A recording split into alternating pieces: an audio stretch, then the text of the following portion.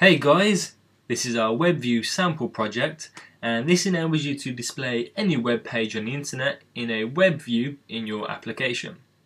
All you need is a live internet connection and you're good to go. So you can display any web page you want, fully interact with it and go to different pages within websites. You can also return and go back from where you previously came in the website and also when anything's ever happening or loading the activity indicator will indicate at the bottom of the web view. So if we refresh the page you'll see it starts spinning to say that something is happening.